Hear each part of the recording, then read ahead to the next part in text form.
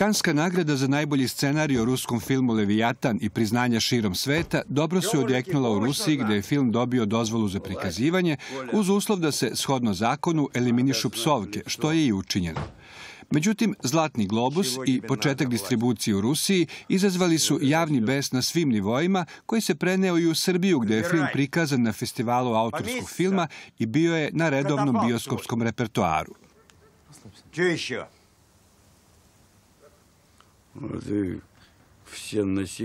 S obzirom da će za koji dan Leviatan možda i Oscara dobiti, nervoza je sve veća.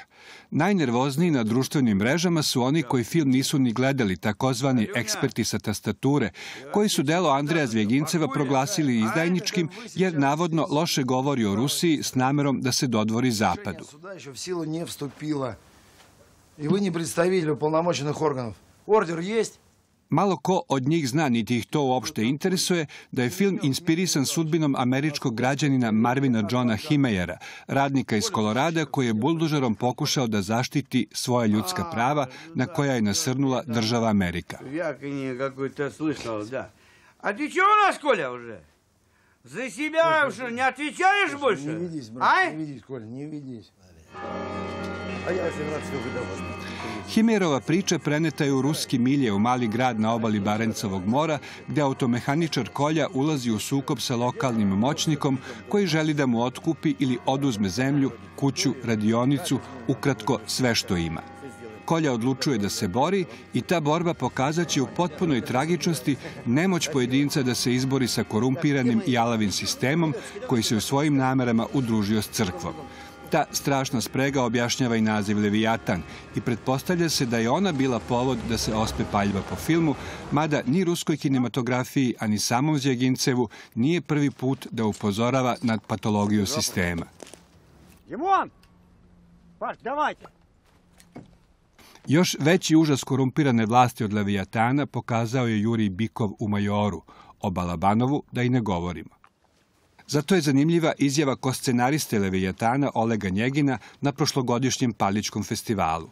On je rekao da film nije napravljen iz mržnje, nego iz ljubavi prema Rusiji, jer kad ti je do nekoga stalo, onda ti je važno da mu bude dobro.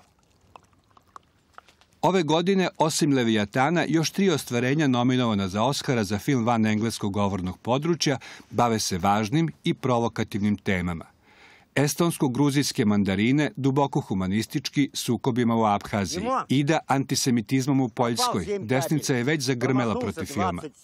Timbuktu militantnim islamistima u Mauritaniji. Sve s namerom da se umetničkim ukazivanjem na problem, taj problem bolje uoči, da se ne sakrije. I to može biti, i to u ovom slučaju jeste ljubav, iako nije ni slatka, ni ružičasta. Izdaja je kad o tome ćutiš, kad to trpiš i lažeš da ne postoji, kad praviš lakirovke.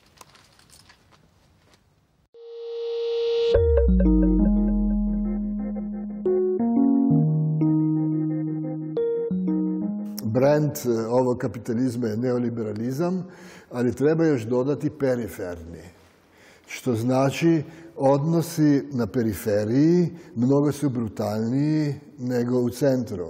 E, mi živimo u perifernom liberalnom kapitalizmu koji mnogo podsjeća na, na sredinu, na prvu polovinu 19. veka. I sada u toj situaciji kad polako Kina i Indija se uzdižu i preuzimaju privrednu dominaciju, Europa i Amerika traže svoje strategije. Sad e, SAD su ušli u ovu vrlo nezgodnu priču militarizacije i vojnog odgovora, što je vrlo često u takvim situacijama. Na primjer, ako pogledamo u 16. veku, Španjolska je bila tadašnja dominantna sila koja je gubila moć i oni su ratovali po cijeloj Europi i rezultat je savremena Španjolska koja je zamano treći svijet. I znači Amerikanci odgovaraju na tu krizu, na, na, gubljenje moći e, vojno, militaristički, a Europa, ja mislim još na gori način, stvaranjem unutrašnjih kolonija. Evropska zajednica sada u ovo vreme je e, jedna konstrukcija koja omogućava e, severnoj, znači ekonomski razvijenoj Europi da eksploatiše evropski jug. Znači Portugal, Španjolsku, Italiju, naravno Grčku, a i ovaj takozvanu novu Europu, znači postsocijalističke zemlje. Tako da taj tip strategije je samo ubiljački, po mom mišljenju, jer će se Europa iznutra isprazniti, porast će socijalne razlike, razlike između zemalja, ako to ide u tom pravcu, naravno. A za 10-15 godina velike snage, velike svjetske sile bit će Kina i Indija sa jednim tipom kapitalizma koji baš nije nama bliski, koji podrazumijeva strašnu eksploataciju i velike socijalne razlike. Tako da ja gledam na ovu situaciju sadašnju kao na neku prekretnicu. Ovo, ova dominantni trend, trend sadašnjih političkih elita u SAD i u zapadnoj Europi je nešto što bi trebalo zaustaviti. Ja se nadam da će te snage sa Sirizom, ne znam, sa Podemos u Španjolskoj, polako ipak se suprostaviti tom negativnom trendu. Sociolog, teoretičar književnosti, prevodilac, jedan od najuglednijih politički angažovanih intelektualaca na prostorima bivše Jugoslavije, profesor dr. Rastko Močnik, uz Žižeka i Dolara jedan je od suosnivača Ljubljanske škole psihoanalize. Poslednjih godina Močnik se bavi pitanjima globalizacije, političkog i socijalnog diskursa, teorijom kognitivnog kapitalizma, teorijom ideologije i problematikom Evrope. Kao gostujući profesor na Beogradskom fakultetu za medije i komunikacije vodi master program Teorije savremenosti, studije kapitalizma.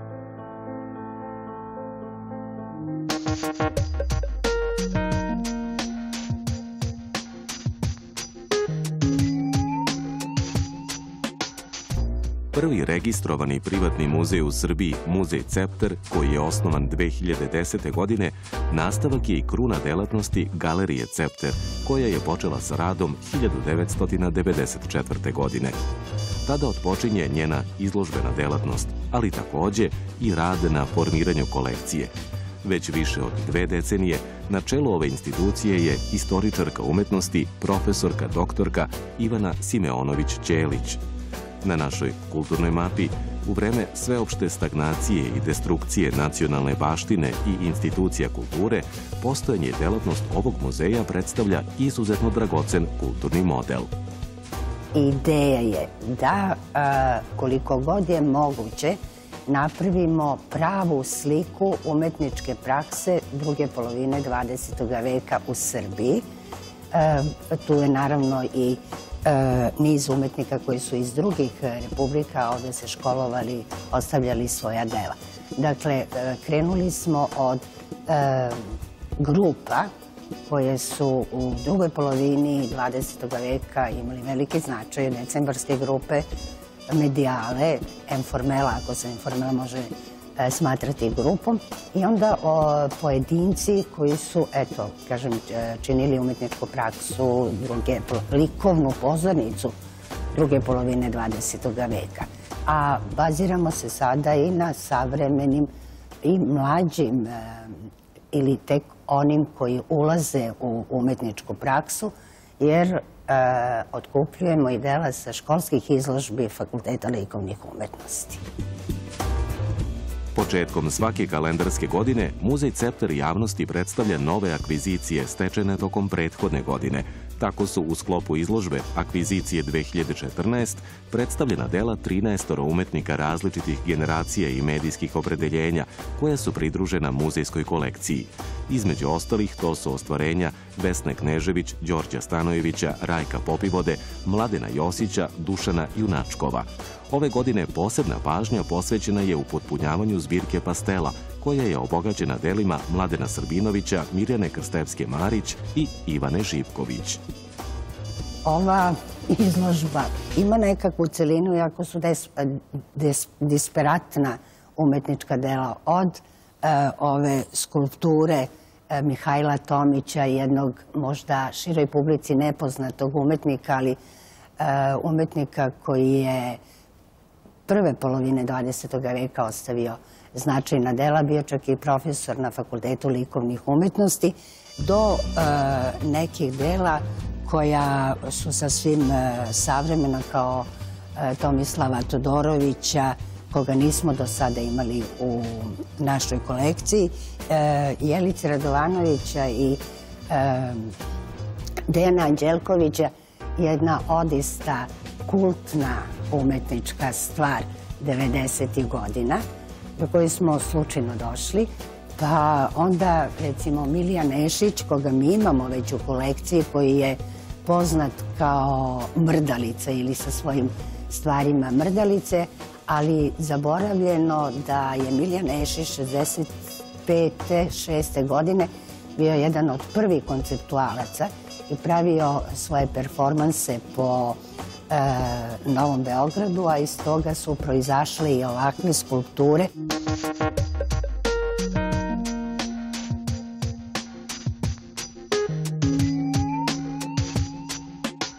Čast da otvori ovogodišnji 11. po redu festival dokumentarnog filma Sedam veličanstvenih pripala je filmu Novi Rijks muzej holandske rediteljke Uge Hogendijk.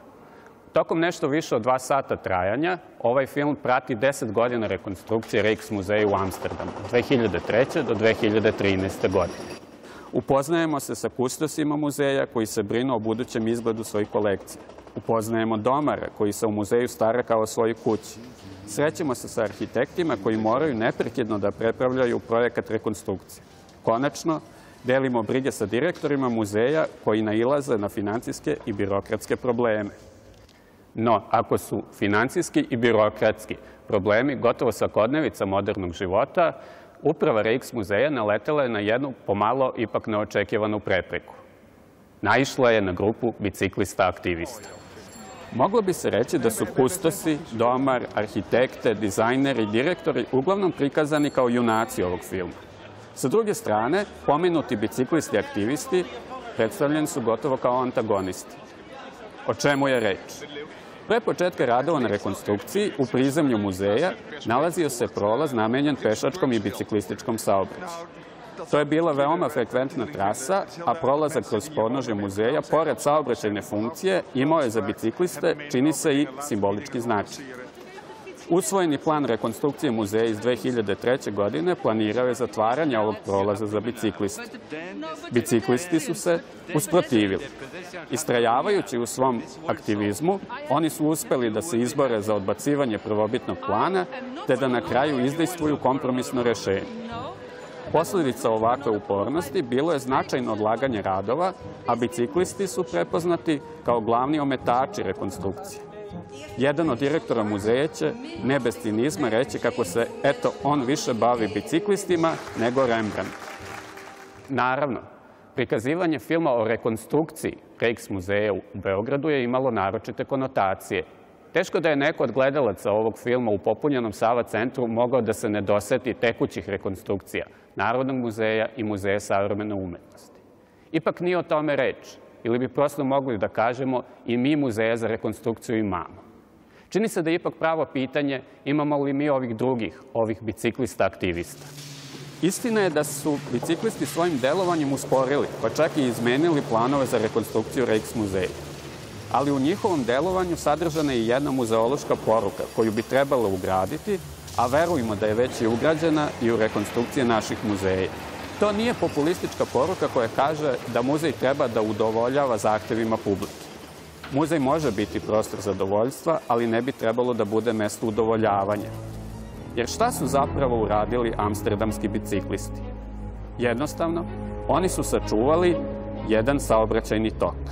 Otuda, prenetu muzeološku ravan, ova poruka bi glasila. Muzej ne bi smeo da zatvara, već je njegov zadatak da čuva postojeće i da stalno otvara nove načine saobraćanja između čoveka i njegove prošlosti.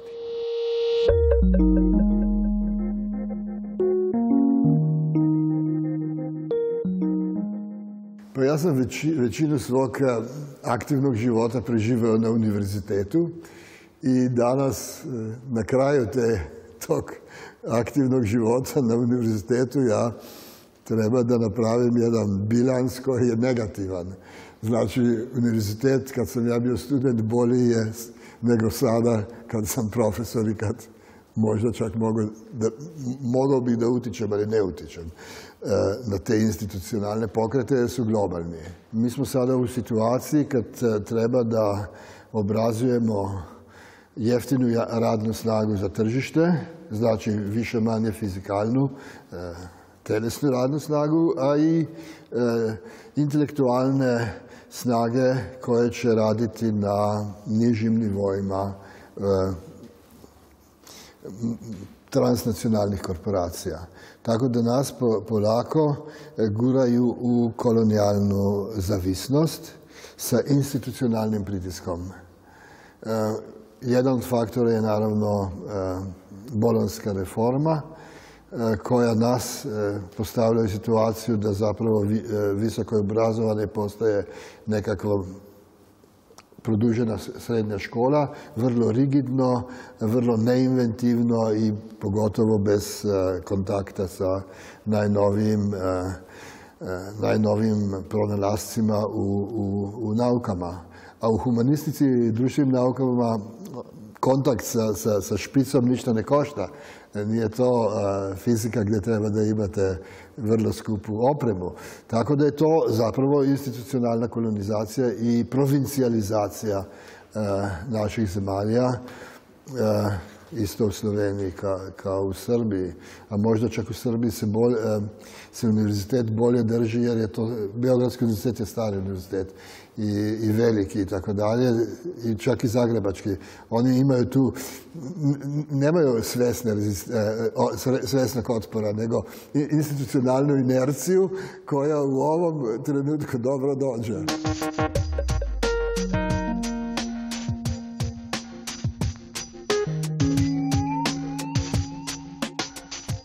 Pa ja se držim e, pravila koje je formulisao Čehov. E, on je na jedno pitanje kako treba pisati za decu odgovorio kao za odrasle samo bolje.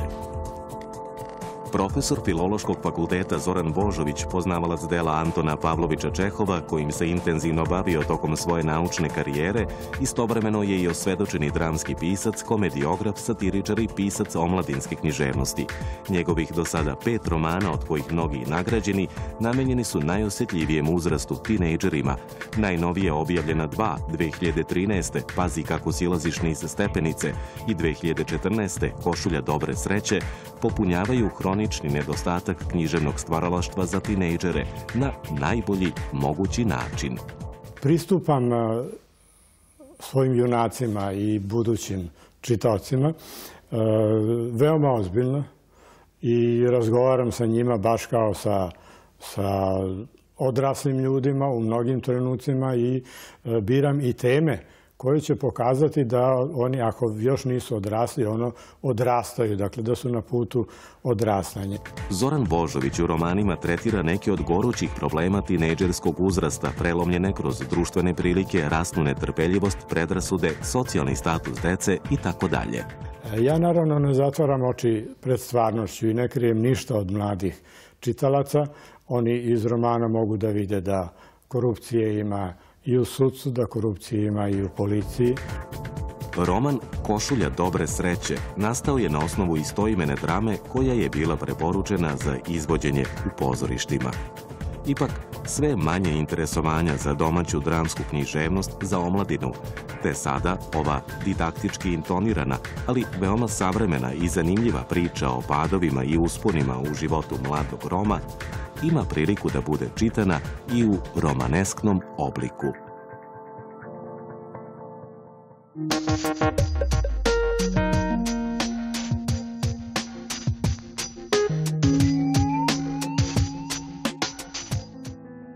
Biografije umetnika mogu da se tretiraju kao značajna, ali i potpuno nevažna građa za razumevanje i tumačenje njihovog stvaralaštva. Novosadska izdavačka kuća Kiša, prvobitno u saradnji sa Prometejem, kasnije sa otvorenom knjigom, a od nedavno samostalno, u ediciji Međučin već niz godina objavljuje utemeljene i analitičke biografije velikana svetske kulture, prevashodno francuskih autora, čije je težište na međuodnosu života i dela. Pored objavljenih biografija Vivaldija, Wagnera, Satija, Dostojevskog Bodlera, Sartra i Joycea, u pripremi su životopisi Kafke i Poa. Kakav je značaj danas biografije u tumačenju i shvatanju dela velikih autora? Biografije su drevni književni žanr, nastao istovremeno kad i književnost.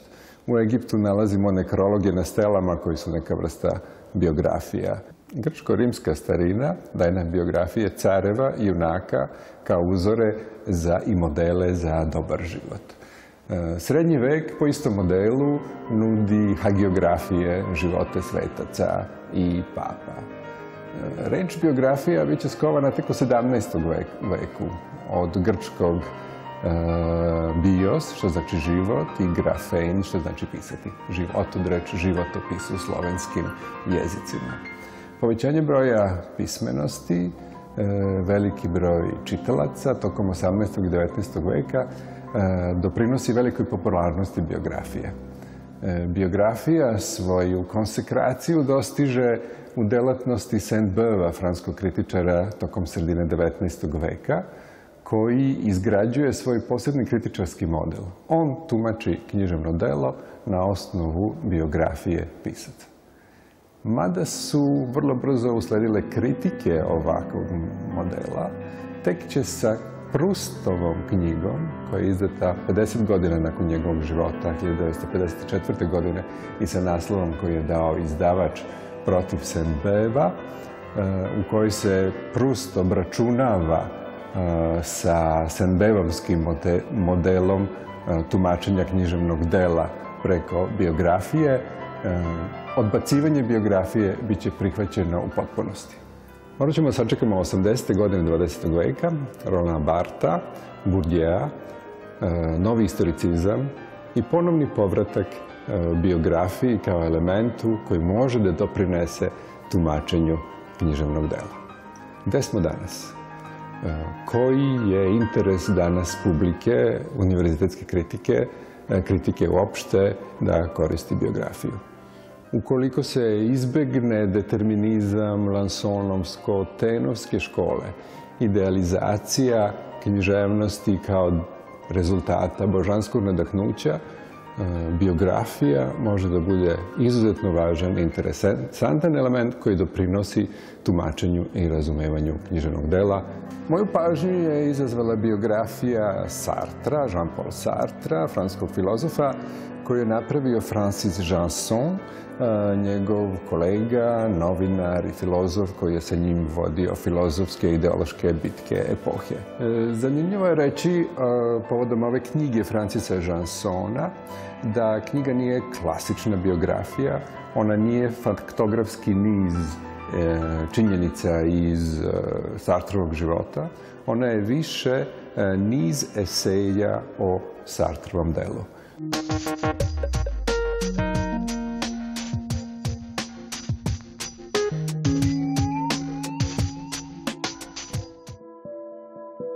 Latinska sentenca Omnia tempus habent, sve ima svoje vreme, naslov je reprezentativne monografije još jednog izdanja Beogradske fondacije Vujčić kolekcija sa studijskim tekstom istoričarke umetnosti Gordane Stanišić, koja je posvećena kompleksnom stvaralaštvu slikara i multimedijalnog umetnika Čedomira Vasića, dugogodišnjeg profesora na Fakultetu likovnih umetnosti u Beogradu. Od svojih prvih izlagačkih nastupa, početkom 70. godina proteklog veka, Vasić uspostavlja kreativne dijaloge sa raznorodnim naslagama iz sveukupnog civilizacijskog fundusa, od predložaka iz istorije umetnosti, mitologije, književnosti do lične istorije, shvatajući umetnost kao otvorenu knjigu prošlosti koju prelistava pogledom savremenika. Ja sebe smatram slikarom koji koristi različite medije shodno onome što želi da kaže ili da iskaže. Sve ono što sam radio nastajalo u određenom vremenu i da se može vezati za određene trenutke u tom vremenu koji su sad više opšte karaktera, društvenog, socijalnog, ekonomskog, koji su uticali na naš život i e, ono što sam ja e, pravio u tom vremenu, e, očigledno je bilo u dobroj meri odgovor na tu trenutno stanje i u izvesnom smislu je bio moj dijalog sa različitim vremenima u kojima smo živeli. Dakle, u različitim vremenima čovjek mora da se izražava na drugi načine da bi bio ubedljiv i da bi se čuo i da bi se vidio. Pregledno i sistematično strukturirana monografija pouzdan je vodič kroz stvaralaštvo Čedomira Vasića, kog određuje visoka erudicija, poštovanje i poznavanje klasičnih likovnih postulata, ali i veoma rafinirano korišćenje novih medija i tehnologija uz značajan stepen angažovanosti i kritičnosti prema stvarnosti i okruženju. Njegov opus tumači se kroz niz poglavlja, između ostalih to su u procesu produženog mišljenja i delovanja, čovek sa pokretnom kamerom, u dijalogu sa nevidljivim gradovima, prostorne slike, optičke slike odsustva, pseudopejzaži i san i budnost i tako dalje.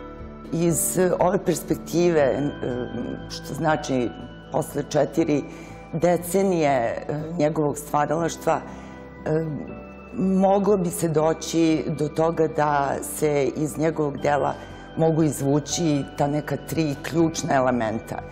E, najpre to, kako sam ja videla, bila reprezentacija po principu ekranske slike ili takozvanih e, produženih slika kao nekog produkta novih tehnologija. Drugi moment e, koji bi mogao da se izvuče, to je e, bila, to je naime i dalje prošlost u sadašnjosti, neka vrsta, tako kažem, refrešovanja memorije i samim tim revitalizovanje istorije. Na taj način mi dobijemo neku vrstu u suštini kako se to danas uobičajeno zove produženog narativa. E, I treći, ali naravno i, ne, i najmanje bitan element je uspostavljanje dijaloške forme. Dalje se to, taj dijalog uspostavlja na različitim nivoima, na nivou čoveka istorije, individualnog, globalnog, e, fizičkog, e, duhovnog, realnog, prividnog i najzad, moram to da naglasim, što je vrlo bitno, uključivanje pojedinca, pojedinca kao pasivnog posmatrača, njegovo preoblikovanje u, u jedan e, njegov aktivan odnos sa Čedinom intelektualnom igrom.